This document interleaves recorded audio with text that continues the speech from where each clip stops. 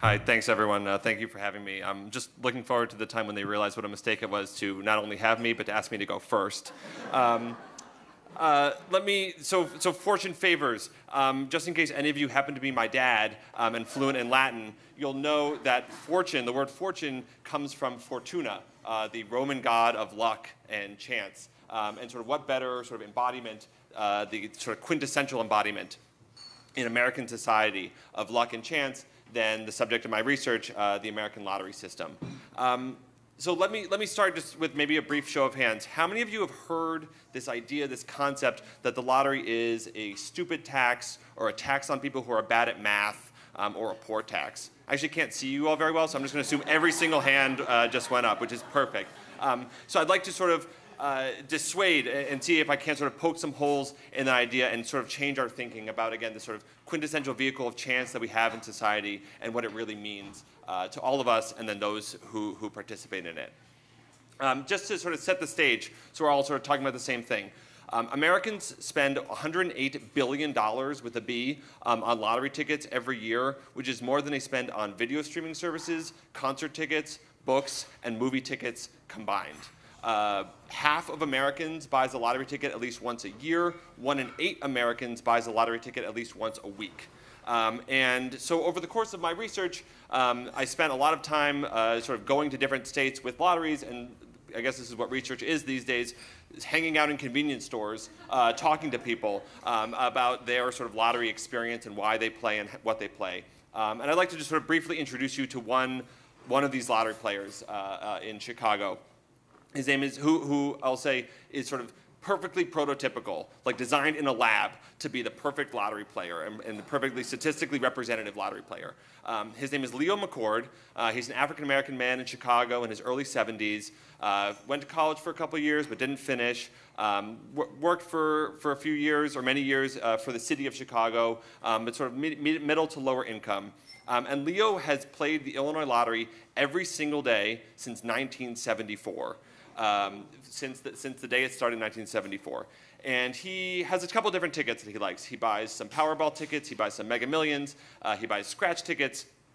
Uh, but the real number, the real games that he likes are the three and four digit daily numbers games. Um, he has two lucky numbers if you want to write these down. Uh, uh, 2045 and 916, which he's insisted they haven't done anything yet, but he's sure any day now they're sort of, they're sort of due, due to hit. Um, and in 2007, he actually won $100,000 um, in, the lottery, with most of which he used to fix up his mom's apartment, buy himself a car, nothing, nothing too flashy. Uh, but even with, even with that windfall, he knows that he's lost more than he's won uh, over the course of the last 50 years. And he sort of justifies his lottery play in a way that I think it's, it's, it's hard for someone who doesn't play the lottery to understand.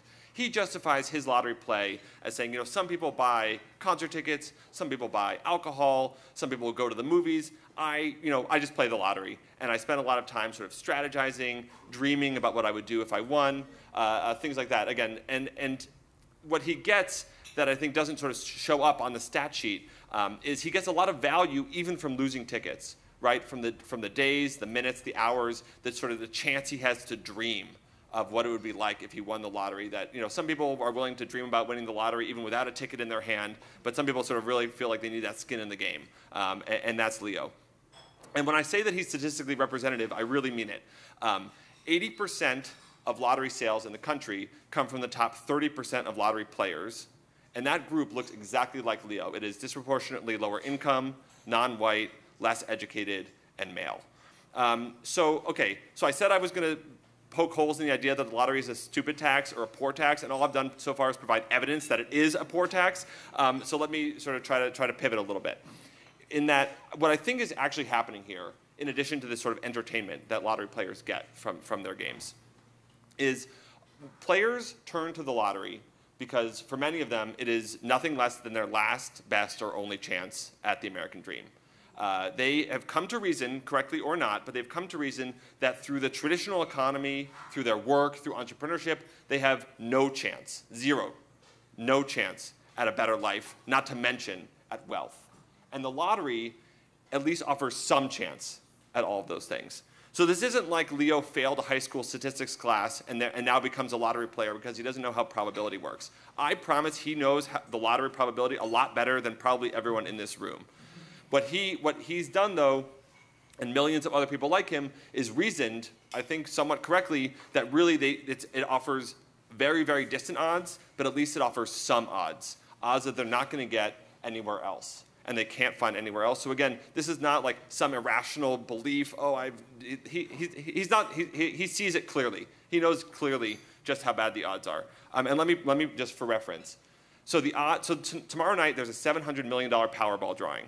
Okay, the odds of winning Powerball or, or Mega Millions, very similar, are 1 in 302 million, or roughly 300 million, which is just incalculable. I guess it doesn't sound that big, but it's incalculable. Okay, so the odds of winning a Mega Millions, for example, is if you took an ant, put it onto four football fields, and stabbed a needle into the ground, right? That's, that's your odds of winning, of winning the Mega Millions. So, yeah. um, okay, but let, let, me, let, me, let, let, me, let me get another show of hands. How many people here have bought at least one Powerball Mega Millions ticket when the jackpot gets really big and it gets on the news when it's a billion dollars. Again, every single hand has gone up. I can't see you all. That's perfect. Um, so, so I understand. I understand that sort of orders of magnitude, right, of difference. Of you are you're playing, you know, two dollars once a year, right? You're in that 50% of Americans who buys a lottery ticket once a year, right? You're playing an orders of magnitude difference uh, than someone like Leo McCord. But really, if we're all being honest with ourselves, you're engaged in the exact same type of thinking that we sort of condemn when we see have among lottery players. No offense. Uh, you know, lottery. What you're, what you're doing, what I think the human mind is prone to do when we have these sort of incalculably lar- long odds and unfathomably large sums of money, right, is to dream, right, and to engage in sort of wishful, hopeful, maybe mathematically irrational thinking about sort of underestimation of how bad your odds are and overestimation that you're going to win and what it would do for your life. Um, don't, oh, for the record, don't get me started on people who will like buy a billion dollar a ticket for a billion dollar jackpot, but not 700 million dollars, as if that's like not enough to change their life. Okay, um, so. But, but I'm saying what, what, what Leo does and what sort of is condemned, right, in some circles by people, by sort of poor people like Leo, is something that we all sort of exhibit right, when we are willing to buy our lottery tickets once a year, even if we see it as a lark and he sees it as something else, we're really sort of engaged uh, in the exact same type of thinking. And, and let me do you one better. The reason we have lotteries in the first place is because states, policymakers, voters engaged in the exact same type of wishful thinking that a lottery would solve all of their financial problems. So what you had going back, you know, 60 years was government who wanted, or states who wanted to fund services, voters who didn't want to pay taxes, and this sort of belief, this, this states that just bas basically bet on betting as a silver bullet solution to their state's financial problems. Um, and their willingness to sort of take the, the dreams for a jackpot of people like Leo and let hope that those dreams would fund their own jackpot uh, for the state. Okay, and if you think I'm exaggerating, I, I, promise in 60 years of sort of lottery history, because that's a thing, um, there, you never get a, a, politician who gets up there and says, you know, a lottery is going to be great. It's going to provide 1.7% of the funding for the general fund. Okay? What you get are folks like Congressman Cornelius Gallagher from New Jersey, who in 1968 said, quote, with a lottery, we could abandon all taxation in New Jersey and increase every service in our state four times over okay? This is, this is like really like how it started. And then it sort of, okay, it doesn't work in New Jersey, but you know, I'm sure it's gonna work for us in, in Connecticut. And then it doesn't work in Connecticut, it's like, oh, I'm sure it's gonna work for us in Georgia. And then lo and behold, here we are with 45 lottery states uh, and $100 billion in sales every year because of this cognitive dissonance and this belief, this hopeful, wishful, irrational belief by states, by policymakers, that a lottery is going to solve all their financial problems. Again, very parallel, very similar to the belief that sort of bring Leo uh, to his local convenience store every single day. Um, so I'll, I'll, sort of close on that, which is that, I think that the, this phrase, this idea of a stupid tax or a tax on people who are bad at math, uh, it really fundamentally is sort of victim blaming. Uh, right, we're taking the sort of the losers in the economy who don't see other chances uh, to get out, and we, they've got they've got one chance, right? They've got this one chance that they see it provided by the state and, and we basically call them stupid for trying and for going after it. And, and, and I think that's, that's should change or should be rethought in large part because, again, we're all prone to these same types of thinking uh, at the government level, at the individual level, at the personal level. Um, and just to sort of put my cards on the table, um, I, ha I, have here in my pocket uh, a ticket for the $700 million Powerball drawing uh, tomorrow night. Thank you. I'm assuming you're applauding because they're the winning numbers. Uh, but uh, I have it because somebody's got to win, and it might as well be me. Thanks very much.